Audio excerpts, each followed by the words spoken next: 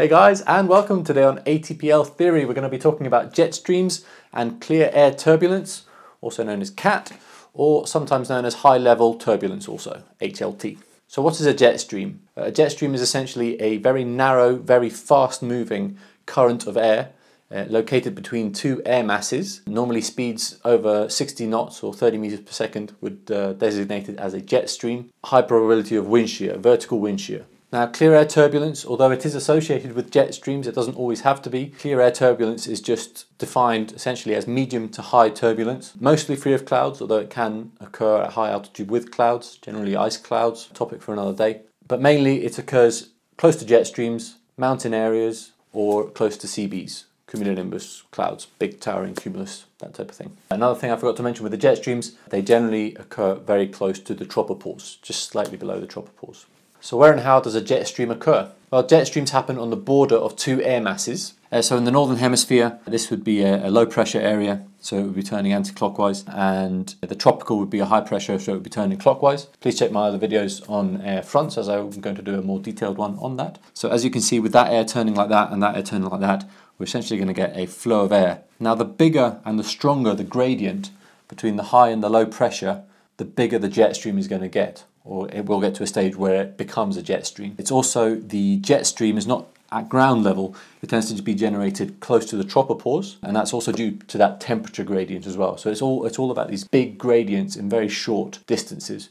I mean short, you know, 1,000 kilometers, maybe 1,500 kilometers, this could be spread out over. Uh, so it's all to do with that temperature gradient and the pressure gradient generates those very strong winds as the air masses try to move into each other, basically. So that's where the jet stream comes from.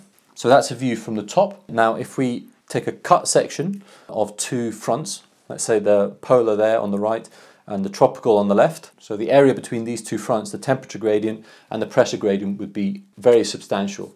In a very short distance, the change would be quite dramatic. So this is why all these high winds get caused. The jet core is always on the tropical side. So it would be right there. You can see the tropopause would be slightly lower on the polar side uh, and it would be slightly higher on the tropical side but the jet cores, they are always on the tropical side. So as I was saying, in fact, if we did have another colder front, let's call it on this side, would maybe be something like that, depending if the warm one was pushing that one now, we would still get the core, the jet core, but it would be on this side.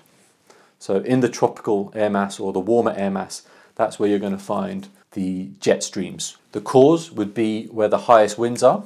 The wind would dissipate the further out you go from that jet core. Now from the side-on view of these two air masses, you can see where the clear air turbulence is, and that is generally on the cold side uh, and slightly below the jet core.